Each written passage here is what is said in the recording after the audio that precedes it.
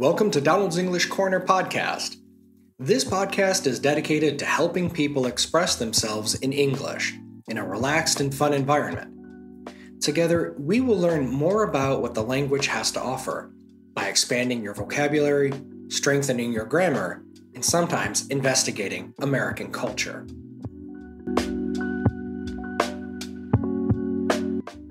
Welcome to episode 3.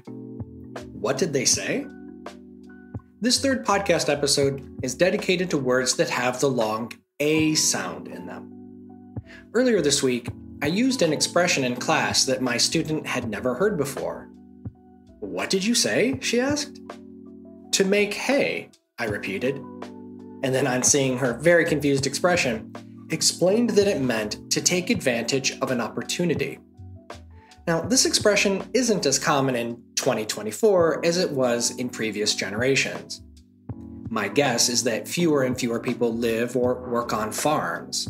People today don't, well, they don't make hay. That expression inspired today's podcast episode, the long A sound that appears in words like hay and they.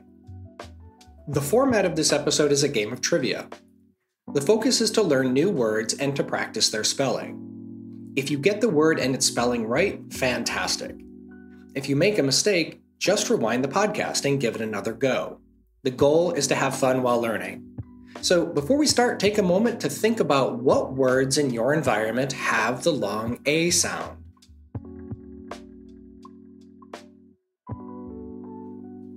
And off we go.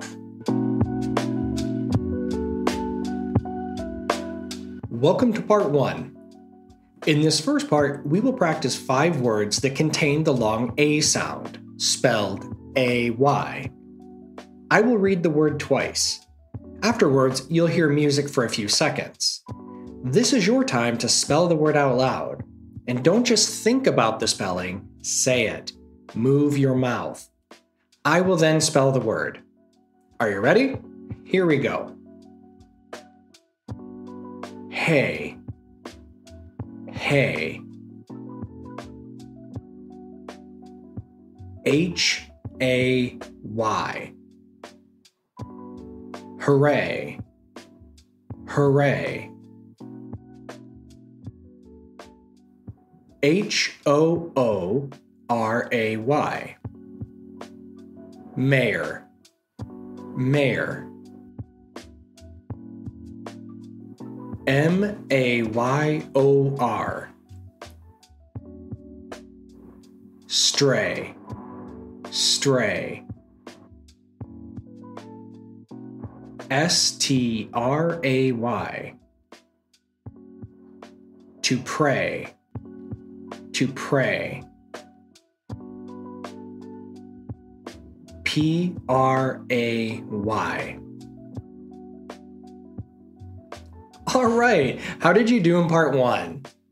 Remember, rewind the audio and listen again if you didn't quite get the spelling of a word. Take another deep breath, and let's move on to part two.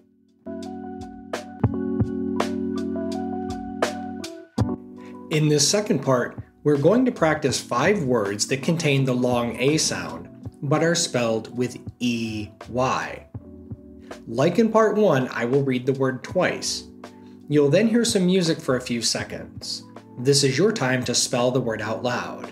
I will then give you the correct spelling. The key here is to speak it. You ready? Here we go. Hey. Hey. H E Y. They. They. T H E Y. Prey, prey. P R E Y.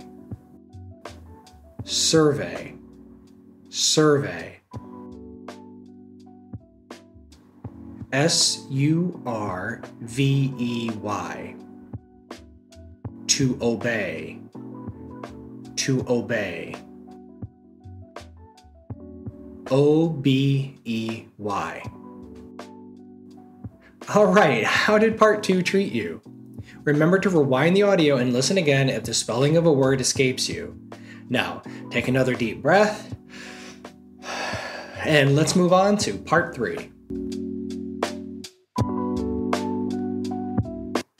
In part three, we are going to learn the meaning of five of this week's words. You'll hear me read a definition, followed by a few seconds of music. That's your opportunity to say and to spell the correct word. Remember, spell it out loud. Okay? Let's get started. This three letter word is used to get someone's attention. An exclamation mark almost always follows this word in written form. Hey. H E Y. This five letter word means the elected leader of a city or town. Mayor. M A Y O R. This word refers to an animal taken by another animal as food, or a person who is helpless to defend themselves from attack. Prey. P R E Y. This four letter verb means to follow a command or order. To obey. O B E Y. The last word has four letters and refers to a domestic animal, like a pet cat or dog, that is lost or living without an owner. Stray. S T R A Y. All right, how did you do in part three? I hope that you learned the meaning of one or two new words.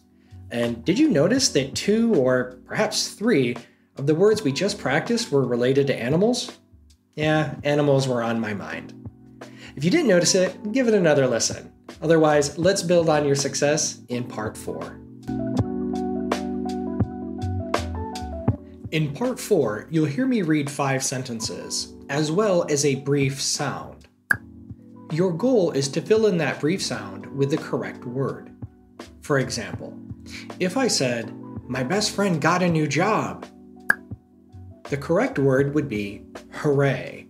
H O O R A Y. Like in previous parts, you should say and spell the missing word out loud when you hear the music. Ready? Let's do this. Oh man, election season is the worst. My phone rings at least 10 times a day from companies conducting political about who I might vote for this year. Surveys. S U R V E Y S. The sick girl's parents every day that she will get better. Pray. P R A Y. Farmers cut their grass and let it dry out. This process turns the grass into which animals will eat. Hay. H A Y. Our grandparents were loving people, but very strict everyone had their rules to obey. O B E Y. Hey, uh, where did the kids go after school? Oh, all went to the park to ride their skateboards. They. T H E Y. Congratulations! You've made it to the end of the third episode of Donald's English Corner podcast. What did they say? Please check out my website at donaldinchicago.com or any of my social media sites if you'd like to learn more about the English language and American culture. Thanks, everybody, and see you next time in episode 4.